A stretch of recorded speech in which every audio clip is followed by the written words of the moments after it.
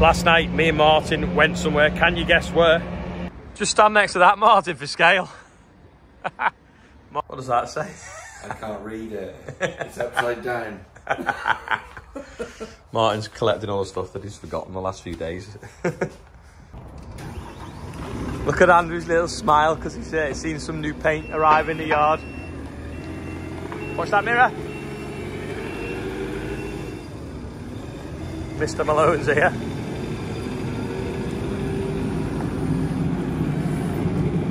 Still got about another 100 acres of grass to do. So we've got a blower conditioner to keep everyone happy that was saying, why don't you get a conditioner? So we're going to have a go with this. Will the mini Merlo pick it up?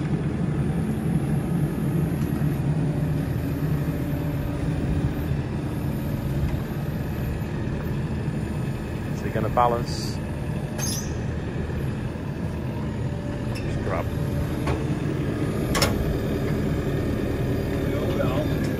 Don't know, you want to just somewhere where you can get the tractor, where you can get a tractor to it, yeah? Problem is it's going to rain all next week now. It's glorious today, but then rain next week. Savage that conditioner, isn't it?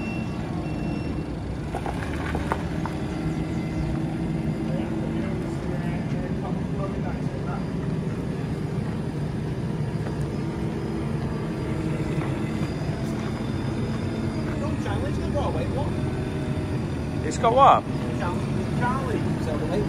Oh yeah, yeah.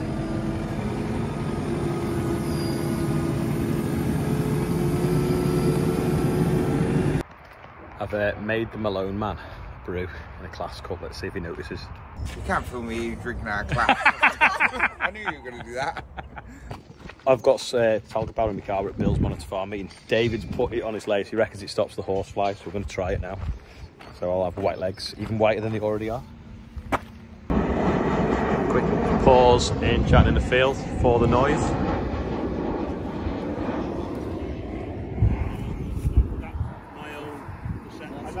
Same with me, and that's you think what's going on. Pretty picturesque, that view, isn't it? Is it a lighter field than It's pretty similar, pretty similar soil. it's all river silt, isn't it? We're just I mean, his was uh, the looking at. greener. Was that the compost or was that the nitrogen or? We don't know. we're just at the Monitor Farm meeting at Bill's. We've just been looking at his wheat there, just looking at ours now. Looks well though.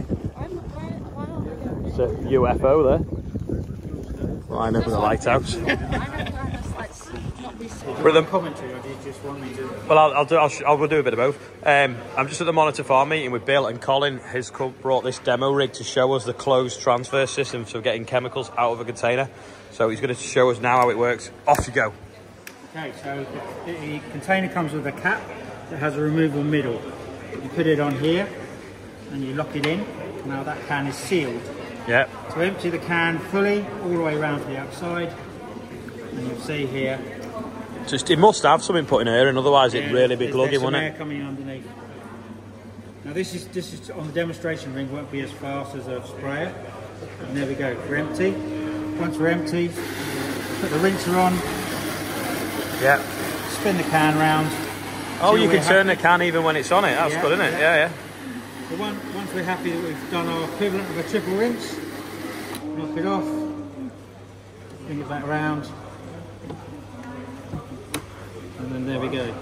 Yeah, and then it just has a dust cap here, doesn't it? Yeah, so the dust cap when it's travelling, just to show you what it looks like, so there, there's a cap, and when you lock it in, basically it removes the centre Yeah, yeah. here, and you can see these are the, these are the deflector nozzles that basically cause it to rinse. Yeah, yeah. Yeah, so that's fixed on there.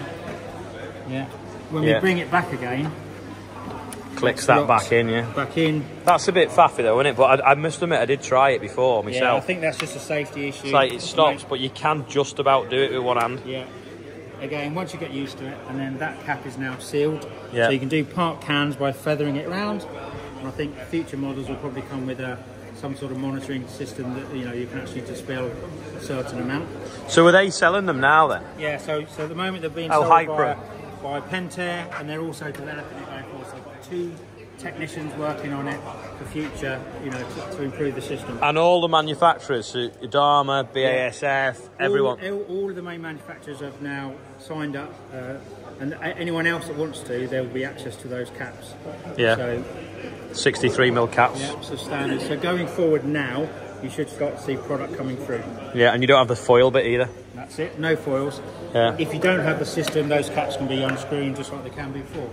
You've got no got no point source, No. uh, and you've got no operator exposure, or certainly limited operator exposure. So, so going forward, this will probably become standard on sprayers next to your induction hopper. I just think it should look like a Mr. Fusion off Back to the Future. Yes, that's right. Yeah. So there we go. I think we have to try one of them. So this is Easy Connect. Easy Connect, is that what it's called? Oh yeah. There we go. Cheers, Colin. Thank you. We're just back from the Monitor Farm conference. We're just going to play with something here now and then um, get up to Edinburgh.